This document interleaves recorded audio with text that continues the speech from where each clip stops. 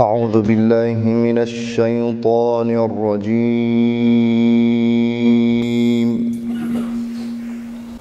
بسم الله الرحمن الرحيم. شهر رمضان الذي أنزل فيه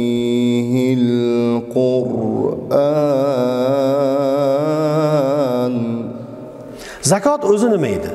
Zakot alloh taolo farz qilgan. Sizu biz mo'min musulmonlarni gardanimizga yuklagan buyuk bir ibodatlardan biri. Qur'oni karimni yigirma yettita joyida alloh taolo namoz bilan birga qarina qilib ya'ni yopishtirib keltirgan ekan. Yigirma yettita joyida. Bundan ko'rinib turibdiki alloh taolo bizlarga namozni qanday farz qilgan bo'lsa zakot ham xuddi shundoq farz. Farz ibodati farz ibodati ollohning buyrug'idir. Buni bajargan ado etgan inson ulug' ulug' mukofotni qo'lga kiritadi. Eng asosiysi robbimizni roziligini topadi bandalikni bajo keltiradi.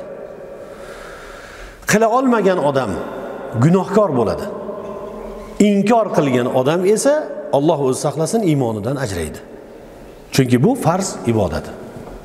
Zakotni ma'nosini ulamolarimiz lug'at ulamolari bir qancha ma'nolarni keltirganlar. Poklash salohiyat e, ma'nolarini ma'nolariga ega deb ham aytganlar. Shar'iy istilohda esa ya'ni dinimizda zakot deb ma'lum bir molning ma'lum bir qismini ma'lum bir muddatda ma'lum bir kishiga berilishligini aytilinadi ma'lum bir mol deb nisobga yetgan molni aytiladi.